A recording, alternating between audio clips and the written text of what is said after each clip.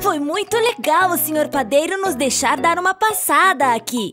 Eu amo ajudar ele a fazer coisas gostosas. Aprendi tanta coisa. Ah, não, eu não. Essas coisas são confusas. Eu não sei o que vem antes. Qual a diferença entre essa colher e essa colher? Ah, e eu também não quero me queimar. Fazer bolos segue três passos básicos. Um, dois, três. E nunca toque o fogão ou forno. O senhor padeiro é um adulto e vai fazer isso.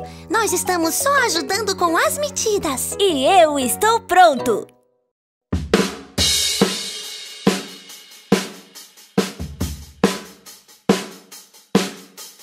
Leite, trigo, açúcar e ovos. Leite, trigo, açúcar e ovos. Leite, também. Primeiro a gente mexe, é o que a receita pede. E ajeita na assadeira, yeah! Depois vai lá pro forno, bem lindo fica o bolo de aniversário, é! Leite, trigo, açúcar e ovos. Leite, trigo, açúcar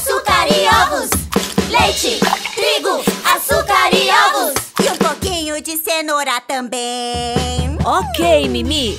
Essa é uma colher de sopa e essa é uma colher de chá. Uma é maior que a outra. Tá, e como eu lembro disso tudo? É fácil. É maior um prato de sopa ou uma xícara de chá? Isso! Uma colher de sopa é maior que uma colher de chá. Peguei! Aqui tem uma xícara e aqui tem meio litro. Duas xícaras igual a meio litro. Colher de chá, sopa e duas xícaras igual a meio litro. Entendi! Então é só seguir as instruções. Trigo, açúcar e ovos. Leite, trigo, açúcar e ovos. E um pouquinho de cenoura também.